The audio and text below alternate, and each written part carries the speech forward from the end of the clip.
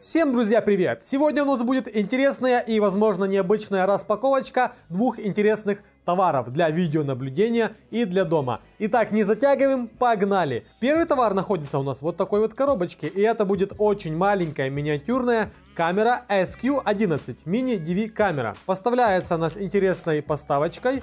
Внутри у нас идет сама камера, кабель, по которому мы заряжаем и подключаем ее э, к телевизору.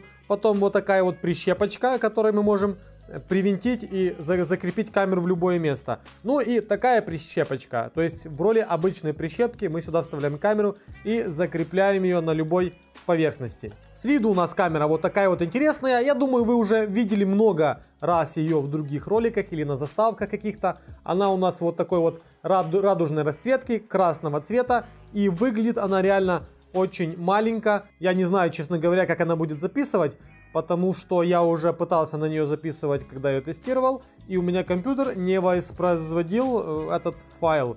У нас файл, кстати, AVI. Я не знаю почему, вроде распространенный файл, но пишет она в AVI, и компьютер почему-то сдох.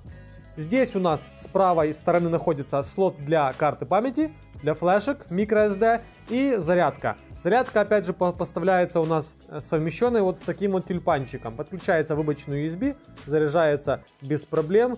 И время для зарядки этой камеры нужно всего лишь пару часов. Данная малышка в режиме съемки видео будет работать около 100 минут, так что вам не хватит для постоянного видеонаблюдения. Если, конечно же, вы ее не подключите через какое-то приложение или через ноутбук, как э, обычную камеру к компьютеру. Я уже подключал эту малышку к компьютеру, и она показала очень посредственные качества видео. Прям очень посредственные. Честно говоря, я думал, что эта камера будет снимать лучше. Но если вам нужно, например, запечатлеть какой-то нужный момент там дня или вечера, что делается там в вашей комнате или, не знаю, в коридоре, допустим, то эта малышка подойдет. Я думаю, 3 часа должно было бы хватить. Опять же, качество видео такое себе прям посредственненькое. Заявляется, что она у нас пишет в HD и Full HD, то есть 1280 на 720 и 1920 на 1080. Данные качества подтвердить пока что не могу. В конце ролика, если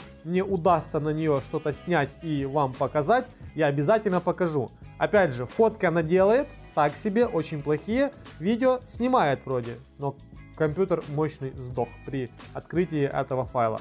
Управляется камера с помощью двух кнопок на верхней части. У нас можно видеть кнопку запуска и кнопку М. М это настройка режимов, то есть или фото, или видео. Все очень просто и легко. Главное один раз разобраться, как это все работает, и она будет работать. Во время запуска у нас мигает или синяя лампочка, или красная. В данный момент мигает синяя лампочка. И, допустим, когда идет запись, лампочка загорелась, вы еще раз один раз нажали, и она начала мигать, синяя лампочка. Ну и пошла запись. Пишется на microSD карту, 256 гигабайт она не принимает. После 256 гигабайт поставил 32 гигабайта и все начало работать, все начало писаться. Вот такой вот интересный первый товар. Если вам интересно, переходите по ссылкам в описании, смотрите, ознакомливайтесь чуть поближе. Камера очень узкого направления, но возможно кому-то пригодится там за кем-то посмотреть, подглядеть. Ну вот эти вот интересные шпионские дела, вы меня понимаете. Далее ко мне на обзор пришли три вот таких вот замечательных датчика температуры от Xiaomi. Пришли они три, но покажу я вам ну, один. Я же не буду каждый распаковывать, показывать, правильно? Такие датчики очень полезная штука, скажу я вам в доме. Допустим, вы заказываете три, они идут в три в комплекте, стоят около 6 или 7 долларов. В комплекте у нас идет сам датчик, и в датчике встроенная, внутри уже есть аккумулятор, и вот такая вот наклеечка липучка, двусторонний скотч. Вы на эту липучку можете приклеить, допустим, в детской, в ванной, в другой любой гостиной комнате, допустим. И через пару секунд сразу же вам покажется температура и влажность воздуха. Хочу заметить, что датчик имеет миниатюрные формы, он очень легок и имеет белый стильный вид. Ну, в общем, Xiaomi, что тут говорить. Все сделано под умный дом Xiaomi и под э, расцветку этого бренда в основном. Датчик очень прост в использовании. Чтобы его запустить, нужно снять заднюю крышечку. Под задней крышечкой мы увидим батарейку. Вынимаем предохранитель батарейки, и датчик начинает работать. И показывать нам температуру и влажность. Э, я так думаю, что нужно, чтобы прошло полчаса или хотя бы час для того, чтобы датчик, так сказать, показал уже вам правильную температуру. Он сразу будет вам показывать какие-то значения, но они, я не уверен, что они будут правильные, потому что открыв два датчика, положив их вместе, каждый из них по отдельности показал разную температуру и разный процент влажности. Так что я уверен, пройдет около получаса или час, и датчик вам покажет нужную температуру. Штука очень удобная и полезная, стоит недорого. Я вот уже закреплю себя в квартире и сейчас вам покажу, какую температуру и влажность показывает сей гаджет.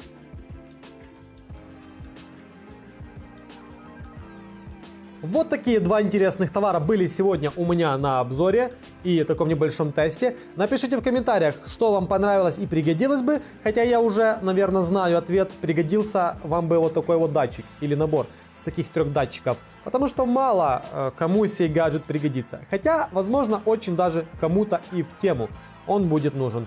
Обращаю ваше внимание еще раз. Качество записи и фото очень посредственное. Хоть и там э, заявлено, что 12 мегапикселей, он пишет в 1080, но это Китай. Возможно, оригинал писался бы, писал бы лучше, хотя заявлено, что это оригинал.